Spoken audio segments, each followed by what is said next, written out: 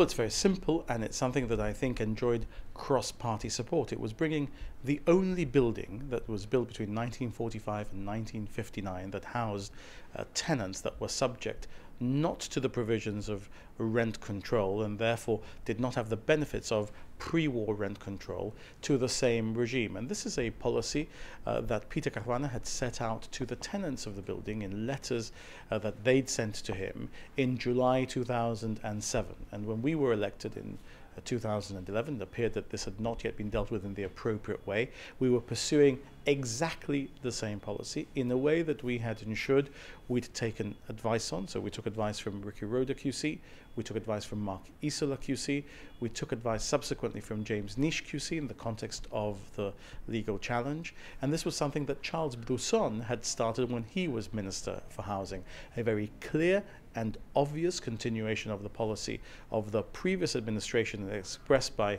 uh, Peter Caruana in a letter in the way that we thought was appropriate. But you must have known when you introduced the bill in Parliament that it would be benefiting a very specific, very small group of people. But you didn't really spell that out in Parliament, did you? I don't know that I didn't. I think I actually did. I, I was delivering what was a very technical explanation about a very technical piece of legislation. This is not a piece of legislation that's going to light up the the, the world because it's so exciting in its social policy um, effect. It's something that is very technical, and, and I read the note that was prepared for me by the draftsman of the legislation to explain the effect of the legislation. And it was obvious that it would affect the tenants of Matilda Francis flats because that's the reason that Paul Balban, who had become Minister for Housing, unfortunately, because of the death of Charles Bruzon, and it was only in that context that he'd become Minister for Housing, um, and I explained that. So, um, so, so the fact that he was a tenant as well was just a coincidence? It, well, it was a coincidence in the sense that he had become unexpectedly Minister for Housing, but he expressed in Cabinet his conflict, as I've said. He expressed through me his conflict in Parliament. This was not hidden, this was made clear. I ensured that people were aware of that, and subsequently, he has not taken the benefit of the measure in order to, I think, demonstrate his good faith in the context of how uh, the reform came about. So I think, if anything, Paul Balban must be commended for the way that he's discharged his functions. But isn't the principle that he shouldn't be able to take advantage of it rather than he doesn't want to because uh, he doesn't think it's fair? Well, I, I think that's uh, not the principle. I think it would be completely uh, erroneous to think that legislation is made in Parliament only if it doesn't apply to ministers. So, for example, when we make legislation in Parliament on the whole gamut of issues that affect social policy in Gibraltar or affects Gibraltarians, you don't carve out the 10 ministers or the seven members opposite. What you do, and this is what the rules require for good reason, is that you declare if something is going to affect a particular minister and you explain it in that way. And in this context, Paul Balban's potential benefit was declared.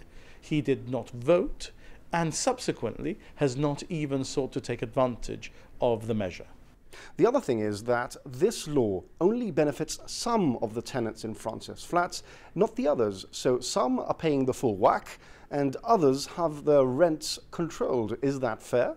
That is the advice that we had as to how we should be able to legislate. You, you can take your own view, can't you? Well, you can take your, if you act against advice, then you risk being put in a position where the law that you make is not going to withstand challenge. Remember that this law has not withstood a challenge on appeal to the Court of Appeal, but did withstand challenge to the Supreme Court of Gibraltar, where Mr.